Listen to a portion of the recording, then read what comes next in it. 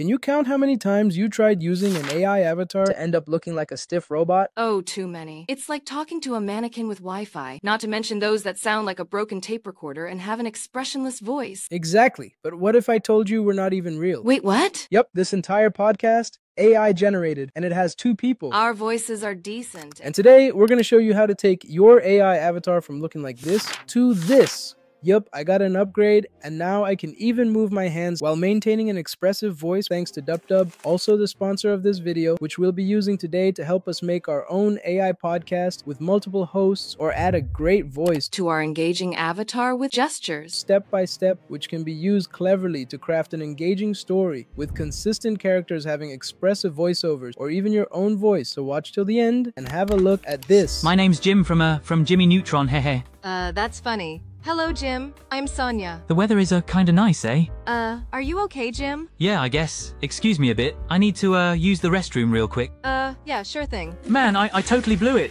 Ugh, what's taking him so long? I guess it's time I activate my DupDub avatar. Go replace me. Time to impress her. Hey, you're finally back. I actually went to pinch myself cause there's no way such a pretty lady is single. Oh, stop it. You're not too bad yourself. Love your outfit. I'm pretty sure dating you would upgrade my style game. Thanks. I guess it would be fun to go shopping together. We do seem to have the same hair color. Catch you later. What? Let's head over to DupDub and sign up. We can look at our credits up here. I'll click on AI image and you can type a prompt like me to get an output image of multiple people for a podcast or a singular avatar. I'll be using this one. Now head to AI avatar and under photo avatar upload the desired face photo, it'll automatically detect the two faces. Here we can type, upload or record our dialogues for each speaker. To then choose a speaker of our choice, I'd recommend the multi-emotive ones to choose from and assign it a suitable emotion to select it and get an expressive dialogue and continue this to add audio, selecting the speaker and repeating this till we're done. You can also train your own voice under My Voices to add your own or paste an example of a famous character you like. Once done, we'll generate Talking Avatar, to get this result in a few minutes. It's amazing for hosting a podcast channel, isn't it? Yes, especially after making a few edits on CapCut. I get it adding zooms and transitions to make it more engaging is essential. Although you can go ahead and use the DupDub editor as well to keep it all in one place.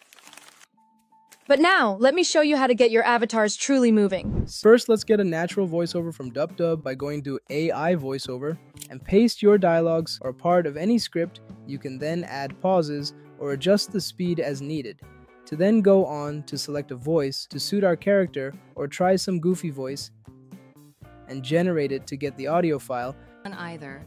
But you may also record or train your own voice to use. Next, you record a video of yourself moving your hands facing the camera pretending to talk. If you're shy like me, just find someone else. Now you can go to CapCut and make this video longer by looping it to be longer than the voiceover length and you're all set to head over to Synclabs to create a new project and upload your video and DupDub voiceover to hit generate. After a 5 minute break, we get this perfect gestured lip sync of our avatar with a beautiful voice. By the way, if you want a natural avatar like me with no background, make sure the video input does not contain one either. Now, how about I show you how to create a cohesive Pixar-style story sequence with key characters using the features we've learned. So here's how you do it. Let's first get our characters in order. First, I'll generate two images, one for the boy at one end of the table and a girl at the opposite end for their date. Now we'll head to Minimax to animate these images to get hand movements, download it, and loop both clips to make it long enough to fit all the dialogues of the character. Now we need voiceovers of the dialogues to sync it with. You can get a script by using AI writing and ask for a script with multiple dialogues, but I'll be using my own. I recommend separating the dialogues for each character. Now let's get the voiceovers done selecting voices with relevant emotions and generating it, and then go to Synclabs to create a new project where we will upload our looped video along with the dialogue voiceover we generated. Um, hey. And hit generate to get our gestured video of the character. Let's download and repeat for another character. Once done, we'll also create a few cool photo avatars for the scenes, uploading the photos, selecting the same voice, and pasting our dialogues to get amazing talking avatars. I also recommend creating relevant, consistent images of your character to animate them.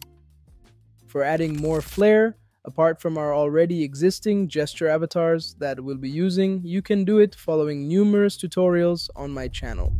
Once done, all we need to do is put them together in any video editor, adding sound effects to get this. And boom, it's done. So I'd wait no further to get started with DupDub. They offer a free trial for you to test out these features. I hope you enjoyed this video. Like, subscribe, and I'll see you in the next one.